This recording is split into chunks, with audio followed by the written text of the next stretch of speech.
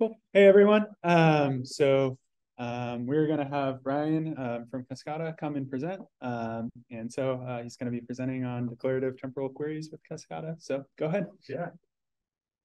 All right, everybody. Thank you. Um, so my name is Ryan Michael. Um, I work with DataStax. Um, and I want to talk with you guys a little bit about uh, some of the kind of ideas that we developed as we were building this tool called Kaskada.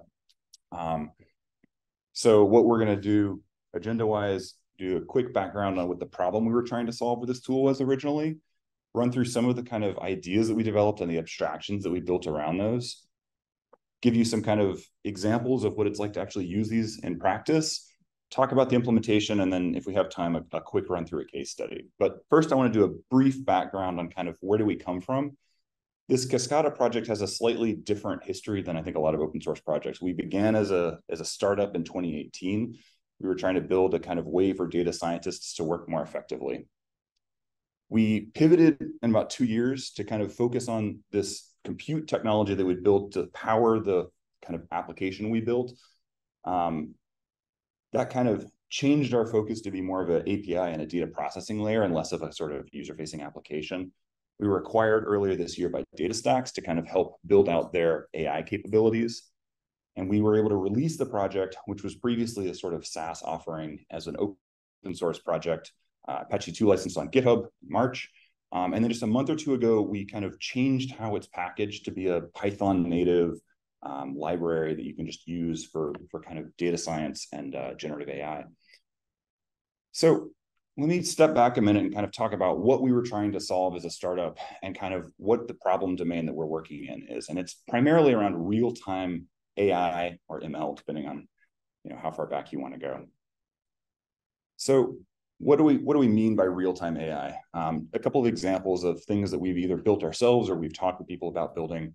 Um, one example is kind of smart notifications. So we have an application we'll look at in a minute that's sort of trained on all of the users in a Slack workspace, monitors all the conversations as they're happening. Move this up so it's um, and kind of notifies people when there's conversations that it thinks they might be interested in that they're not already participating in. Um, similarly, you could imagine an application that's watching what's happening within an institution, observing when there's new information being produced, like here's a new document, indexing that in a knowledge base, and then helping people to find that information dynamically as they're describing problems that it might help solve.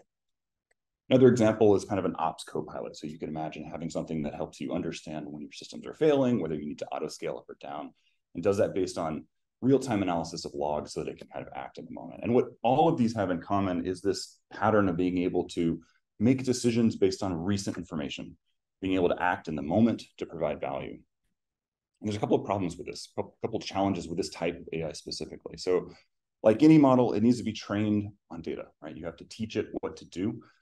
The difference here is that to be able to make decisions in real time, the examples you give it have to reflect really granular views of the past. We need to have the same granularity in our training examples that we're using in our inference. This means we need to be able to make examples of what was happening in the past with sort of sub-minute granularity. And not just any time in the past. We need to be able to identify the specific instance in time when the model would have been used. So if I'm going to make a prediction anytime someone comes to my web page or anytime there's a alert from a service, I need to build training examples that reflect those points in times, and I need a way of describing those to be able to iterate on the, the definition that training said effectively. So one of the big risks that building these kinds of models runs is having what we call temporal leakage. When you're building a training data set over the past year or two, you know more than the model would have known when it made a prediction a year ago. And it's very easy to accidentally bake that knowledge into the features that you're building and build a, a model that can only make predictions accurately if it can see the future. Um, the other big problem here is that we've got two different problems to solve that have different shapes. The first is we need to build this historical training data set from our historical data. And the second, is we need to take that same analysis, that same feature definition, and compute it in real time to be able to make decisions in the moment. So just to kind of look at what this looks like schematically, right? We have this first process on the top where we're taking historical data, putting it through some sort of computation to build examples, fine tuning or training, depending on whether we're talking about generative or kind of predictive use cases. Then we need to do roughly the same thing, but in real time, right? We need to take events as they arrive, apply roughly the same type of computation to produce a single prediction. Um, and we want these two paths to have roughly the same logic. So this is the sort of domain that we were trying to work on is how can we help data scientists solve, you know, this problem of getting from their historical data to models and their real-time data to predictions. And we kind of went through a series of evolutions in terms of how we thought about this problem. Then I want to kind of walk through sort of what our thought process was to kind of share how we got to this idea of timelines. The first thing that we identified early on, this is one of the first kind of like things that came out of early conversations about what the problem domain looks like, is that in most cases, ML and AI use cases involve an initial group by something like a user or some other entity. Um, this is related to how models work. They need to make a large number of predictions, otherwise it's not really an ML model, it's just a statistical description. Um, and oftentimes the predictions that are being made are scoped to some restricted domain of what do I know about a user, what do I know about a locality, what do I know about um, a particular instance of a, a, service or something like that. Um, and so we borrowed this idea of entities from a lot of the kind of data science libraries um, where this has become a fairly standard way of thinking about things. And we baked this into the sort of semantic layer that we built on top of this. One of the things that this gives us is it, it allows join predicates to be kind of implicit. We are able to avoid a lot of kind of repetitive boilerplate, you know, join on user and time, join on user and time, join on user and time, by just pushing this into the semantics of our kind of um, query description language. The other thing is obviously when you're dealing with real-time data, you're dealing with raw data. Data scientists often work in fact tables or other sort of um, post-processed data sources where they've got information that's been rolled up and cleaned. When you move into a real-time context, you don't have any of that. You have to do that yourself. Um, and in order to build these sort of more um, higher level understandings of what's happening in the world, we really need aggregation. Aggregation is core to what we do. But in reality, 90% of what we're doing is just counting. It's just how many times has something happened over this time span or since the last time a user arrived at my site or something like that. Primarily very simple things. We need to be able to support more complex aggregations, but from a usability perspective, this is what most ML is built on, it turns out. Um, another thing that we see really frequently is that oftentimes we'll need to do the same aggregation over three or four different kind of window definitions or time time spans. Um, and so we really wanted to think about ways that we could support this kind of simple reuse of the same operation over different over different, different time horizons. So what we started to recognize is that when we start building these aggregations, fundamentally an aggregation is spanning multiple events. What we end up with is we have a persistent value, which is if we're doing a count, for example, we're going to process events as they arrive. We're going to throw those events away, but the count we're going to keep. That count is a persistent value that we always have access to. And so we have two, two different types of information. We have the information that's instantaneous, that's just I'm processing this event right now, and therefore I can read values from it. And we have persistent values, which is I've aggregated some state in an accumulator somewhere, and these have different operational behaviors. I can always access the one, but I only have access to the other in some cases. And so what this means is there's implications on when I can combine values reliably or not. Um, we ended up thinking about a couple of different ways of describing this distinction in our kind of way that we describe queries. Um, and we landed on kind of an idea of interpolation or continuous versus discrete, which we'll look at here in just a second.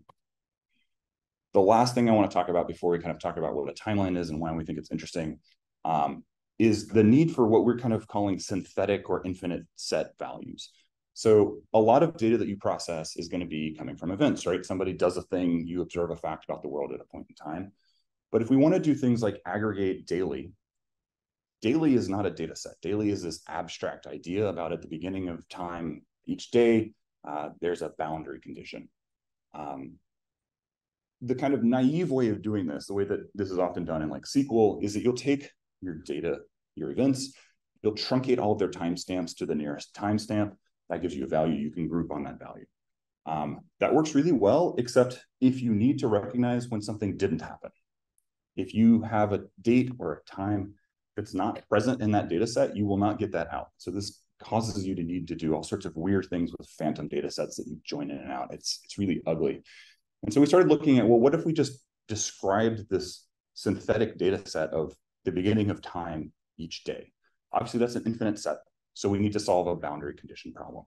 Um, so we kind of elected to basically provide semantics around that, where what we would say is this set begins the first time associated with a value in, in your data, and then it ends at whatever now is or when the when the user asks us to, to terminate the computation. So these are all the sort of like considerations that we were thinking about. And they brought us to this idea of timelines. This kind of evolved over fits and starts, a couple of different versions. And where we landed was this idea of timelines as a way of synthesizing all of this together into a coherent whole. Um, if you imagine drawing a data set, its events, oftentimes you'll probably draw something very similar to this if you just draw it on a, on a whiteboard, right? We've got time along the horizontal axis, we've got value on a vertical axis. Um, maybe this is a line if you're dealing with kind of non, non-scalar values. Um, but it's a really intuitive way of thinking about how things change across time that gives you this geometric visualization of these two dimensions. On the one hand, you can think about how the value changes, and you can, or the, you know, the different values you're working with. And on the other hand, you can reason really easily about time and how those relationships um, exist. And what we like about this is that it kind of brings all these ideas together, right? So as you can see here, when we talk about the values in a timeline, they're keyed by entity. So all of these um, aggregations that you're seeing here on the bottom, those are aggregated by entity. Um, we can see really clearly how temporal aggregation will work here. So what we're doing here is just kind of counting, or I guess we're doing a sum here. Um, and so we have an easy way of kind of thinking about the aggregations we wanted to do. You can see here the two examples of what we call kind of continuous on the bottom and discrete on the top. So this is just recognizing the difference between these values that we can always evaluate versus the values that only happen at particular points in, in time. Um, and then we're not showing this here, but baked into the aggregation mechanisms that we have are what we kind of call periodic windows. So what we recognized is that this synthetic data set really is only needed for aggregation and filtering, really. Um, and so we kind of baked that into the definition of windows. This is sort of an abstraction of things like timers that exist in like Flink. So with this idea, we kind of have this type primitive in a sense that we can operate on. So we can basically take one set of events and then sum it or count it and get a new a new timeline. We can kind of always operate with this time axis, which makes it very easy for us to do the sort of time traveling that we need to do for the, the machine learning example generation. But what we realized is that, you know, this abstraction started to suggest new ways of thinking about things as well. Um, so we talked about um, time leakage, not wanting to be able to train your model on data that's that's from the future. One of the things that's very unusual about building these machine learning examples is that if I'm making a prediction about the future, to build that training example, I need to compute the thing I'm predicting at a different point in time than I want to compute the input to that model because I'm predicting the future.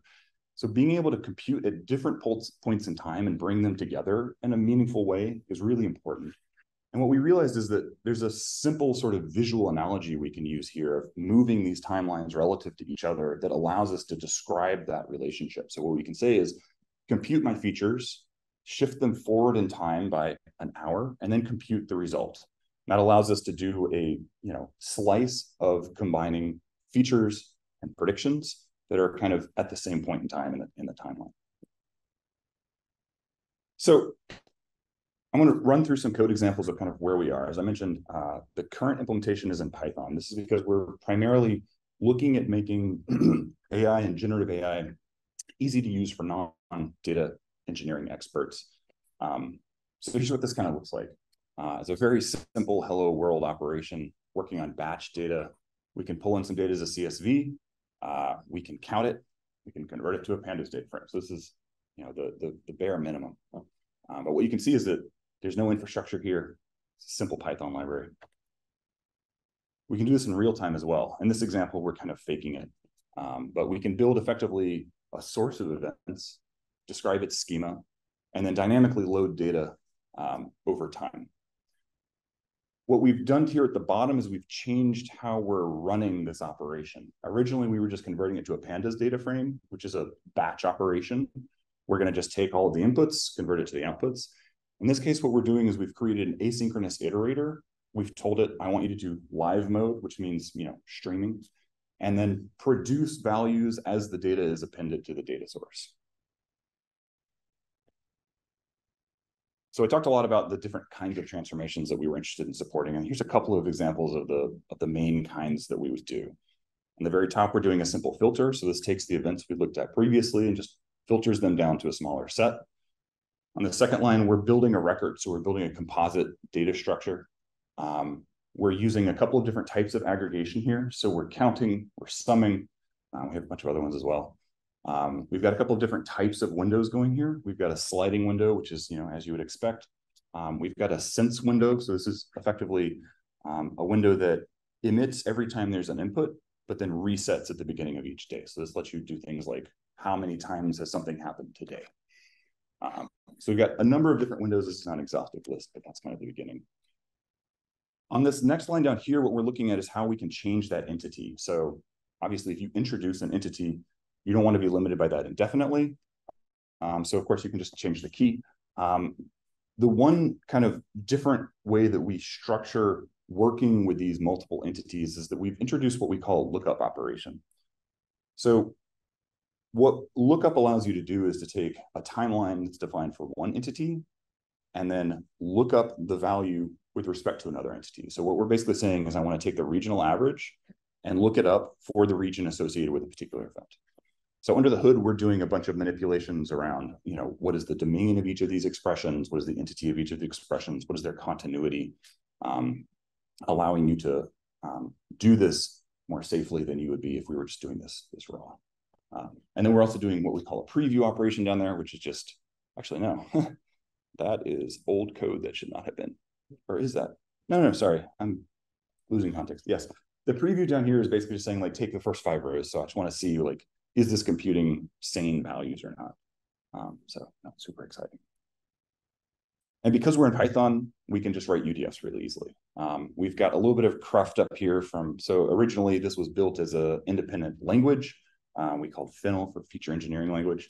Um, when we converted to Python, we basically baked all of that into a Python builder syntax.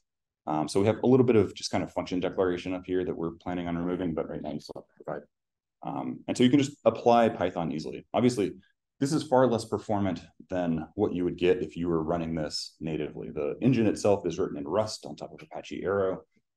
All of the native operations that we've implemented are much faster than these, but oftentimes what you would want to use Python for is applying an embedding model or doing some inference to augment the data that you're processing. And those are going to be orders of magnitude slower than the data processing that we're doing anyway. So generally not as big of a deal. So that's kind of the overview of how you would use it. Um, obviously, we want to be able to do this efficiently. Otherwise, there's there's not much point in, in building this whole system. And there's a couple of things that we've kind of been able to leverage to build a really efficient runtime for this. The first time, the first thing is that we've sort of inverted something that I think is spoken about in the Flink community, which is that we kind of treat streaming as a special case of batch. Um, we built the engine in Rust, as I mentioned, on top of, a, of Arrow, which gives us really fast columnar operations. We did this because the limiting factor in the machine learning kind of AI workflow is often just the iteration cycle time when you're trying to find what features are predictive. And so being able to do historical analysis in batch mode really effectively um, is really important. It turns out if you've got an engine that's really good at that, it can oftentimes handle you know micro batches of, of streaming data also very efficiently. The second thing is that there's a lot of um, features of this timeline abstraction that we can use to build optimizations into the runtime. Right? So timelines are ordered, they are keyed. We can use all of that to optimize the execution. Um, and then the, the final thing that we do is we obviously streaming implement an incremental runtime of this. One of the things that's a little bit different about way, the way that we built incremental is that we designed it from the start to be something you could run periodically. What that does is it allows you to trade off how batchy your operation is versus what the latency end to end is. Obviously, batchy operations are more efficient. So if you run something periodically once, a, once every five or 10 or an hour, five or 10 minutes or an hour or something like that, you can potentially trade off some performance um, for, for latency. Um, in terms of just raw performance, you know, we've done a couple of benchmarks against like DuckDB.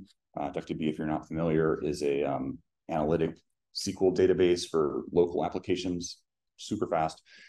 What we found is that even without a whole lot of optimization on our side, we're kind of competitive with them in, in most applications. The one bar, that big one that says history, what that's doing is doing historical analysis to be able to construct point in time views of past data sets. We are substantially faster there because of some of these optimizations that we're going to talk about in a second. Um, because that's just not what a lot of these data processing systems are optimized for. And so we can we can generate historical data sets much more efficiently. So let me talk about the first big reason that we can do this quickly. It has to do with this, what we call temporal locality, right? When we're doing something as a streaming engine, most of the values we're producing are going to depend on other values that are in roughly the same temporal region. If they're not, they're often going to be aggregations that just depend on an accumulator or something like that. Um, so what this means is that we can do things like read the files in temporal order. So we can bound the, the set of inputs that we're working with. Obviously, in a streaming world, this is not as much of a concern. Um, when we're building these aggregations, if we're doing something like a rolling window, it means that conceptually, at least, we can throw away the old windows. We don't need to keep those accumulators around. We don't need to keep that count in place. We can just have the current one open and move forward with that. Um, and then we can do things like as of join or point in time join. So naively, if you were building this with like SQL or something, you might have to build two data sets. And then if you wanted to join them in time, you would need to do a bunch of lookups between them. Because we're processing data chronologically at any given point in time, we can just say, um, look up this other value for this other entity, and then we'll get a point in time lookup. Um, just kind of just falls out of the processing model. Um, I just fast forward through this. So, you know, the other thing that we can take advantage of is that it's a lot faster to maintain order once you have it than it is to sort it on demand. We, in our processing model, stipulate that everything is chronological, which means we can just sort the data as it arrives chronologically. And then to process it, we just need to merge it. This is just a quick merge sort. Um, so we can we can do this very efficiently and we don't ever really need to sort again. Um, Moving to the kind of incremental side, we do a fairly standard thing here. Like we snapshot the state of our accumulators. This allows us to terminate the process, come back again later. Um, it's not a whole lot of interesting stuff in here. Uh, but there's something a little different in how we handle this. So some of you are probably wondering, uh, when I mentioned about throwing away windows, how do we handle late data, right? Late data is sort of the, the bane of streaming existence in a lot of ways. Um, so one way we handle this is fairly standard, right? We have a Slack buffer, we accumulate data for a certain amount of time, we throw away throw away any data that's older than that amount of time. Um, but we have another way of looking at this that I think is somewhat unusual. We have these snapshots that we're creating periodically. This allows us to recover from failure. Um, but what we do is we do what we call optimistic late data handling, which is that we just process the data as it arrives as though, you know, there's not ever going to be any late data many cases that's true, right? If we're talking about data science use cases where the data is being added dynamically within the process, they might just be using the system clock and we don't actually need this. So introducing the complexity of watermarks and all that kind of stuff may just be making things more complicated for the user without actually solving a problem. But what happens when we do get late data? What we can do is we just roll back to the previous snapshot and then play back forward. So what we can do is we can do this on a per entity, sometimes per operation basis and effectively just rewind time briefly, pull it back forward, um, and then have it the, the correct state at any given point in time. What this means is that we don't have to delay processing or we don't have to delay delivering results.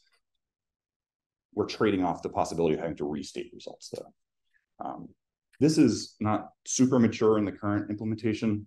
Uh, we kind of lost some functionality when we transitioned to Python. So this is still being kind of implemented. So this is more like uh, it's more like an idea than something I can show you benchmarks on. Um, and so just to kind of like show where this has taken us, um, this is a quick example that we looked at or that we built as a demo. Um, this is the first example I mentioned in terms of the use cases. This is a chatbot that we built. Um, you can download your full Slack history, train it on like who cares about what, and then it'll notify you like, hey, there's a conversation going on. Uh, this is Preethi, a product manager at DataStax, um, mentioning something about like, hey, we're gonna, make a decision here. And so the bot says, hey, you, you probably ought to participate in this conversation because it's relevant to you. Um, I don't know where we are on time. So I've got brief, I can run through really quickly what the implementation of this looks like. Um, just kind of show what this looks like in a finished application. Um, this is the sort of real-time handling that we use to power Beep GPT. It's also available if you want to want to take a look at that. Um, so we're setting up some stuff. We're initializing some services right there. We're creating this data source like we saw previously. This is empty. We're going to add to it dynamically. Uh, we use the Slack API to receive messages in real time. So we're just setting that up, creating a handler. Um, this is the actual logic there. We're basically just receiving messages. After we parse them, we're adding them into the into the set of values that are part of the computation. And then we're done there. This is the kind of handler for the conversation. So the first thing we do is we define some operations here. So in this case, we're building a conversation. We're aggregating across multiple messages to build a view of what's happening in Slack for a given thread in a given channel. So really simple. As I said, many of these data kind of data or machine learning AI aggregations are not super complex. This is basically just pulling out a couple of fields after changing the key and then collecting a list of 20, 20 comments. Um, We've got a UDF here. We apply some formatting so that it's in the format that the OpenAI expects. Um, and then we handle each one of these conversations as they're produced. We get a row, we send it to OpenAI. We do a bit of work to figure out who should be notified, and we send them a notification. Um, so that's kind of the extent of it. Um, so I think just to kind of conclude, the goal here in a lot of ways, especially in the current iteration, was to take some of the complexity of stream processing and make it more accessible to people who are non-experts. Make this something that a data, a developer rather, that just wants to build some sort of application around generative AI or something, for example, can just get started, look at a couple of examples, and just be ready to go. Um, without having to understand complex infrastructure, distributed systems engineering, all that sort of stuff. And what we what we've tried to provide here is a is a simpler way of reasoning about this problem and a, a an engine and a runtime that's really optimized for kind of efficiency and getting started quickly. Um, obviously, I would love to have more people involved in this project. Um, so if you'd like to join Slack, I'd be happy to kind of like talk to you guys more about that. Um, link to the project. Uh, the example I, I showed br briefly is right down there. Uh, you can take a look at that, train on your own you're in Slack organization whatnot. Um, that's what I got. So, any questions? Yes. Yeah, so this question is it a library? Uh, it is right now. So right now, the core of it is implemented in Rust, as I mentioned. So we just use PyO3, we just provide FFI bindings. So it's a Python library um, that will run in real-time mode. You don't need to have any infrastructure if you want to like read from Kafka, Kafka or Pulsar or whatever, you know, we've got connectors for that, so you can stream data into it. Um, but no, there's there's no infrastructure to manage at the at the moment. Um, so yes.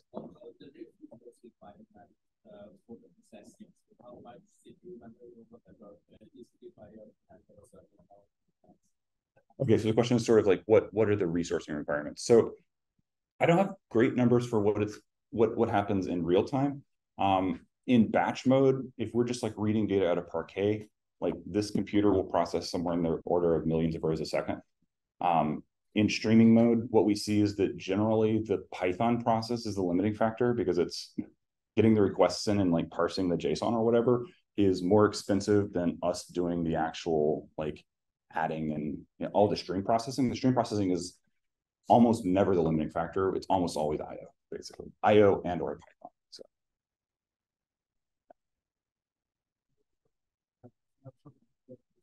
Mm -hmm. Is there some way to Yeah, so the question is like, how do we do state management and snapshotting? So this is one of the things that um, has not been fully ported over to Python yet. Um, when we were a standalone service, we had this well solved and we had like a separate service. We're still implementing that for the Python implementation, but the goal is yes, to be able to have um, you point it at a backing store, whether that's something like Cassandra or local disk or whatnot, um, and then it will take care of managing the state for you as the process process um, makes progress, I guess. Um, so that's actually the complexity of managing that state is one of the things that we wanted to abstract away from users. I think you know this is a common thing in you know many stream processing systems. This is a hard problem to solve, and so yeah, we want we want to make sure that that's a very simple simple problem. Yeah, from the IoTDB project, so we're we're sort of like it seems like you're also sort of like sort of like more in the batch processing of time data. It seems like this would be actually a very well fit to sort of like bring together, let's say, uh, all the features of, let's say, batch processing of time-related data with stream processing, because we're currently trying to sort of like transition from sort of like learning from what data we have for the last few months and transitioning to some reactive systems. So it really sounds like it's it could be a nice fit to join in with that. That would be a perfect data store. Yeah, so I guess summarize maybe like are there applications of IoT? Um, yes, so this is something that we actually before we made this pivot to like really focus on generative AI. One of the things we were thinking about was could we do like edge computing really effectively, right? Because um, running something like Spark or Flink on like an embedded device probably not going to work great. Whereas our engine, it's Rust, it's very efficient. We could compile it down to whatever. Um, I think there's opportunities there. Um, and in terms of just like handling IoT data, that's certainly something that we've we've talked with people about doing in the past. So I think that's a good use case. I'm not sure if that's exactly. I, I agree. I guess is the is the answer. yes. Uh, can we integrate with Kafka? Yes. Um, so I think uh, right now, right now the Kafka integration is read from Python, hand it to the process, but we're working with like we have a branch where we've almost completed like a Rust native uh, Kafka connector um, which will obviously be a little bit more performant. Um, and so, yeah, I think the system was originally designed to be able to deal with both sort of batch data and like a data lake or something like that, as well as reading from um, th this idea that I showed right here, where we're just like handling data dynamically out of the Python process, is very recent. Like we introduced that like a month or two ago. Um, the system was originally designed specifically for yes, let's read data out of Kafka um, and process it as it comes in. So. yep. So yeah, thank you for doing a talk about making things declarative because it's um, you know, a lot of people talk about the, the fantastic engine they built. However, it's it's actually great to think about the um, the query model, the mm-hmm. data model, and that's hard work. Yeah. It reminds that your work seems related to a, a, lot of concepts in other fields. I think this is what Chris was talking about. Um, so like time series databases, you know, there's, there's a lot in common. Um, I'm giving a talk on Monday about adding measures to SQL. Mm-hmm. I'm trying to make so measures are very similar to your timelines, except we don't treat time as as a special case. So you could say what was the profitability of this product in this region in this year. Therefore, you can you can teleport in across, you can move backwards and forwards in any of your dimensions, right. not just time.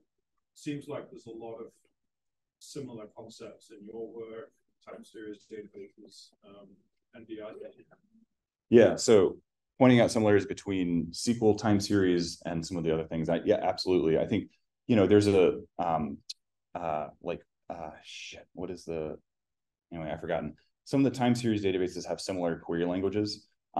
Um, you know, I think the big difference between time series and time timelines rather is just the granularity, right? Like time series are generally like you pick your granularity and then you accumulate into buckets effectively, which loses some resolution. Um, and you're right, like SQL, I think one of the reasons that we moved to the Python implementation is that we were constantly having conversations about like, well, why can't I just use SQL? Um, and the answer is you can, right? Like SQL has match recognized, SQL has a number of kind of like windowing operations. SQL, some versions of SQL has as of join. So a lot of the primitives, I think you're right. Um, what we what we kind of recognized is that we had built this query language that we called Fenl, I mentioned, and we squinted out a little bit and we're like, this looks just like Python. Like this is basically this Python. So why don't we just expose this as Python? Um, and what we like about that is that we're kind of solving a different problem. Like we're not, like I don't, I don't necessarily want to try to fix SQL, right? Like that's not our goal. Um, what we're trying to do is make it easy to use these types of operations. And what we found is that when we moved to Python, we got a bunch of benefits.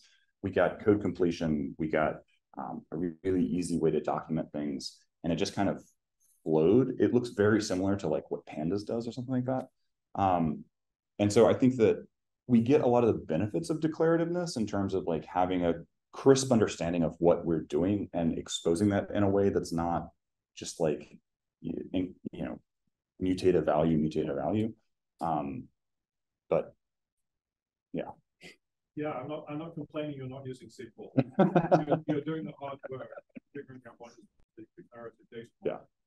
Once you've done that work you can work in sql you're doing it in python because that's where you use it from. exactly. Yeah. Well and we'd like to i mean something we've talked about we haven't done this yet but we'd like to look at like compiling this down to wasm and providing like a javascript version of this.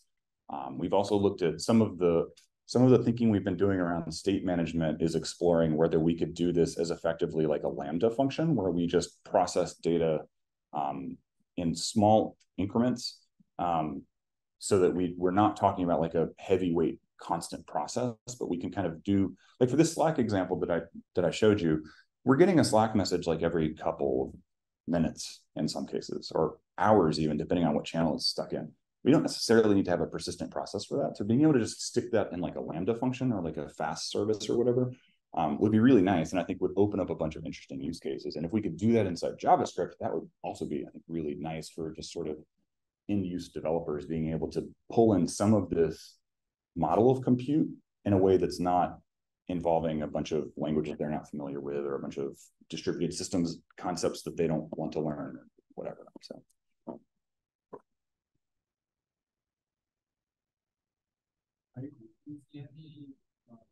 data processing frameworks or that's no right so how are you scaling yeah so are we using frameworks and how do we scale so um oh schedule yeah so the the bulk of the actual implementation is just built on top of apache arrow. So there's a really great rust library that implements apache arrow. Um, arrow if anyone's not familiar is a sort of uh, columnar in memory format. Um, the Rust implementation gives you a lot of really great tooling to be able to say, um, take a big array, apply this function to it. Um, and this gives you really performant results because you can take a really good use of, you know, L1 caching and CPU cache prediction or um, pre-computation and whatnot. So basically you can run through the data really quickly. Um, in terms of scheduling, we built our own scheduler basically. So we take like, here's an example this may take longer. Yeah. So we'll take an expression like this, we'll parse it into an AST. So we'll have like a tree of like, what is the expression that we're describing? We'll compile that down into a physical plan that basically says like, well, first you need to read all the events, then you need to filter them, and then we can apply this transformation and we need to aggregate them. So we have an internal representation of the kind of um, logical process that we're going to execute. And then we just schedule that internally. Uh, we use like Tokio in Rust to be able to do asynchronous um, operations. Um, currently, we are doing most of this, most of our parallelism right now is um, cross operation parallelism. We have a branch that we're working on actually partitioning each stage of that, um, which gets to the distributed thing that you didn't actually ask about, but I'm happy to talk about if somebody wants to talk about. Um, and so, yeah, basically we built our own scheduler that, that does all of the, the scheduling, and then we just use Arrow for the actual execution. Yep. All right. Uh, what's the next speaker?